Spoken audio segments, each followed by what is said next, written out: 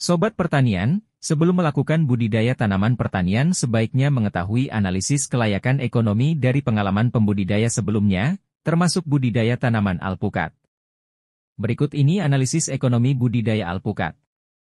Analisis ekonomi budidaya alpukat merupakan pendekatan penting untuk mengevaluasi prospek usaha tani alpukat. Berdasarkan penelitian, berikut adalah beberapa temuan terkait budidaya alpukat. Pendapatan dan kelayakan usaha. Budidaya alpukat memiliki prospek yang baik untuk dikembangkan. Nilai pendapatan dalam satu musim tanam mencapai Rp13.676.099 per ha. Dari aspek kelayakan usaha, budidaya alpukat di lokasi penelitian dinyatakan layak untuk diusahakan dengan nilai R, C ratio senilai 5,92 lebih besar 1.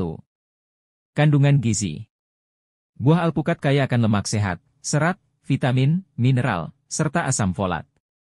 Ini menjadikannya pilihan yang baik dari segi gizi. Modal dan keuntungan. Modal yang diperlukan untuk budidaya alpukat sekitar Rp4.514.570. Keuntungan per bulan mencapai Rp2.567.853 dengan balik modal dalam dua bulan. Strategi pengembangan Analisis bisnis model Canvas digunakan untuk membantu pengembangan usaha komoditas alpukat. Pendekatan ini memungkinkan usaha tetap bertahan, berkembang, dan mengatasi persaingan. Jadi, budidaya alpukat memiliki potensi yang menjanjikan dari segi ekonomi dan gizi.